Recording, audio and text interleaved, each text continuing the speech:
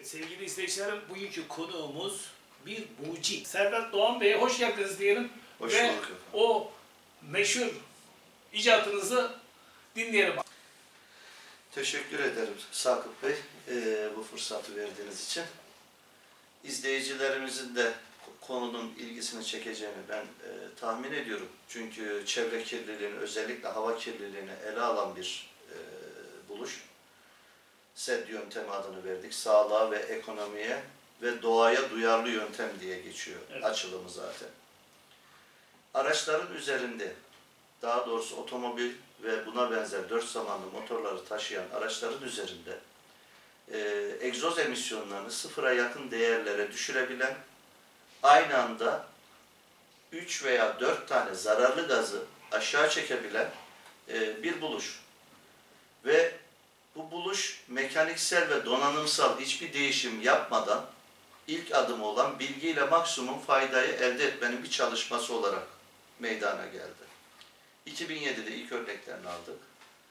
Ee, 2009'da sizin gibi e, değer veren e, basın arkadaşlarımız e, basına taşıdılar konuyu. 2011'de de büyük bir proje haline getirip Sanayi Bakanlığı'na sunuldu.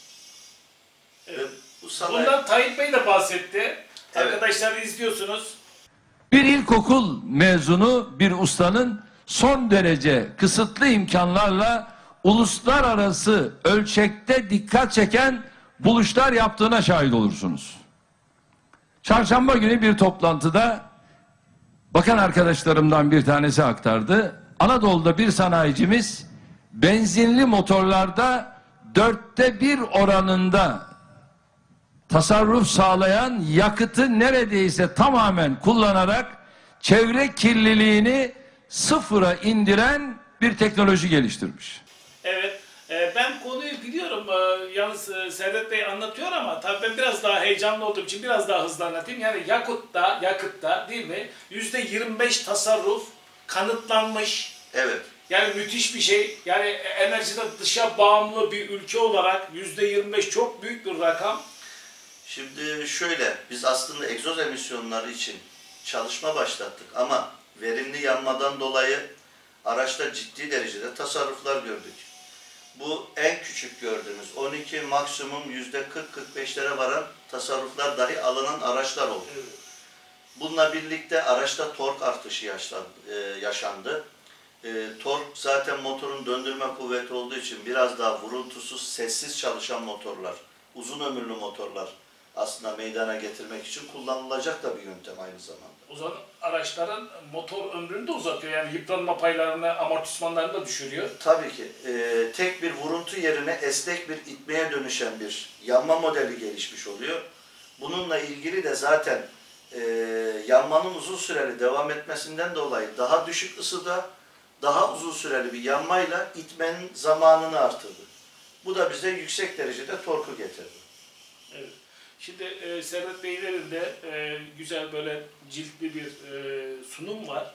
E, daha önce görüştüğümüzde de başka bir yine ciltli sunum vardı. Evet. Yani Çukurova Üniversitesi e, proflar ilgilenmiş.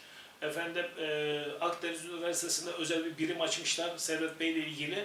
Fakat tabii e, yani devlet de ilgilenmiş. E, Sanayi Bakanlığı, Çevre Bakanlığı da ilgilenmiş. Fakat e, biz yayın öncesinde konuştuğumuzda e, tabii ki her e, nimetin bir külfeti var gibi kabilinden Evet. e, projeyi çalmaya kalkmışlar. Engellemeye çalmış, kal- kalkışmışlar. Artı e, bir de üzücü bir olay suikast yapmaya çalışmışlar. Sonra da proje üstü örtülmüş. Fakat Servet Bey'in kendi bir e, oto bakım atölyesi var. Buradan gelen araçlara uyguluyor. Herkes de memnun. Fakat Servet Bey bir e, milliyetçi kişiliğe sahip Türk milliyetçisi diyor ki ne ben bunu ülkeme hediye edeyim, ülkem kazansın, dünya kazansın, insanlık kazansın diyor. E, cidden güzel bir proje. Zaman içerisinde bunu yine konuşacağız. İşte e, projeden pay isteyenler olmuş. E, vermediğin zaman projeyi karalamaya kalkmış. arıyorlar. Bu nedenle Adana'da bir oto tamircisinin işleri şu sıralarda bayağı iyi. Çünkü tamirci araçlara %20 yakıt tasarrufu vaat eden bir program yüklüyor. rastgele bir yapılan bir buluş değil. Yani günlük hayatta küçük şeyleri, e, faydaları sağlayan bir buluş değil. SED yöntemi uygulandığı zaman biz 2011'deki sunduğumuz proje 490 sayfalık Santes projesi. İçinde 20'ye yakın doktora tezi verilecek konuyla birlikte sunuldu. Ve bunun akabilinde sadece araçlardaki, motorlardaki iyileşmeler değil, egzoz emisyonlarındaki iyileşmeler değil, birçok buna bağımlı sektörü de harekete geçirebilecek nitelikteydi. Aynı zamanda proje bitiminde biz bir ürün üretecektik. Şu an Euro 1, 2, 3, 4, 5 ve en son 6 gibi normlarla Avrupa Birliği çevre organizasyonları bir emisyon kriteri oluşturdular.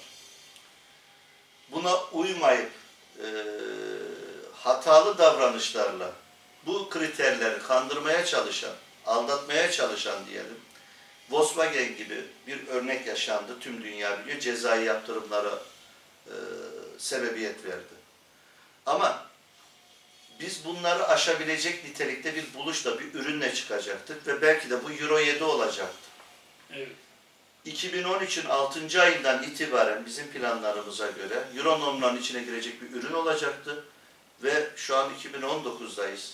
İnanın bu proje tek başına Türkiye'nin dış borcunun tamamını ödeyip Sevgili izleyicilerimiz gördüğünüz gibi yani birçok e, ülke diyeyim değil mi? ARGE çalışmasına milyarlarca para aktarırken evet veya e, birçok e, böyle e, üstün zekalı genci toplayıp herhangi bir fikrinizi bir kağıda yazın derken burada Servet Bey hani alaylı tabir edeceğimiz bir e, durumla bir proje geliştirmiş, uyumamış.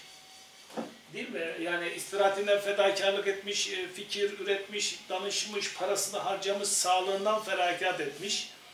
Fakat bizim e, burada bir e, kısır döngü var. Yani bir doktor kanser ilacı buluyor, özel gibi.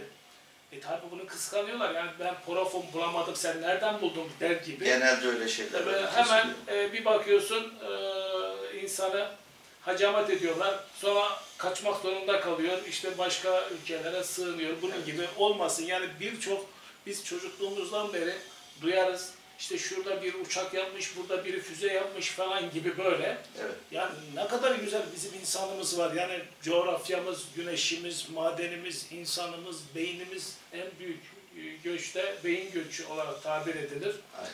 İşte Servet Doğan Bey yüzde 25 yakıt tasarrufu ve yakıt tasarrufunu diyor e, siz önce değil mi? E, Genelde insanlarımız ilgili onunla ilgileniyor. çalışırken e, yakıtın güzel yanmasıyla ilgili bir yazılım programı geliştirmişler. Hiçbir mekanik ve teknik e, değişim yapmadan çok güzel her Şimdi yere uygulanabilir. Biz daha gelişmiş bir şey anlatmak istiyorum size. Bu yaklaşık bir yıla yakın önce oldu. E, Sayın Cumhurbaşkanımız Sakarya Üniversitesi'ne bir görev veriyor. Ordunun bütün motorları yerleştirilecek. Yerli motorları bizim bir yerli fir- firmamız yapacak. Ve bu motorların torku düşük olduğu için bunu geliştirecek bir çalışma başlatın. Üniversiteleri toplayın, bir briefing verin. Birbirinize destekle bu problemi çözelim. Talimatını veriyor. Sakarya Üniversitesi'nde de benim bir çalışmam olmuştu. Yanmadan sorumlu hocamız beni aradı, durumu bildirdi. Sizin projenizi söyleyebilir misiniz, söyleyebilir miyiz diye benden izin istediler. Onu duyarım hocam dedim. Orduma, devletime benim eğer katkım olacaksa canımı da ortaya koyacak kadar e, vatanını, milletini seven bir insanım. Bunu bildirdiler. O briefingde bildirdiler. Yalnız e, o markanın mühendisleri aynı sizin dediğiniz gibi. Ya böyle bir şey olmaz. Bir test eden üniversitenin hocası bunu söylüyor. O testleri yapan üniversitenin hocası söylüyor. Diğer e, firmanın mühendisi de diyor. Bizim yapamadığımız şeyi bu nasıl yapar? Evet. evet. Böyle bir şey olamaz. Evet, evet. Ama burada bir gerçek var. 2007'den beri yüzlerce, binlerce belki de binin üstünde araca uygulandı bunlar. Çünkü bizim aldığımız veriler bilime ters dahi gelecek olsa, mühendislerimize göre bazı şeyler ters geliyor. İşte karbon monoksiti, hidrokarbon aşağı düşerse azot oksitler yükselir diyorlar artan ortam ısısından dolayı. Ama daha düşük bir yanmayı, daha uzun süreli bir yanma haline getirerek biz bir motor içi yanması geliştirdiğimiz için aynı anda azot oksitler düşüp karbondioksit de bir miktar azaldığı gözlemlendi. Ve dünyada ilk e, defa ve tek örnek olarak dört ayrı zararlı gazı indirebilen dünyanın tek örneği. Ve bu TRT kameralarının önünde üniversite akademik testlerle ispatlanmış bir şey. Çukurova Üniversitesi'ndeki testlerle ispatlanmış bir şey. Ve ben bunu neyle nasıl yaptığımı söylemiyorum diye bölüm başkanı dahi bana muhalef oldu. Evet. Yani bunlar inanın basit görevlerini yapmayan insanlar yüzünden ülkenin ekonomisine, ülkenin gelişimine ne kadar ciddi zararlar verdiğini aslında yetkililerin görmesi gerekir. Evet. Sevgili izleyiciler, burada bir mucidin veya bir projenin çığlığını duyuyorsunuz. İşte her şey gözler önünde. Evet. Ee, Servet Doğan gibi girişimcileri, mucitleri desteklemek üzere bir başka programda buluşmak üzere. Hoşçakalın.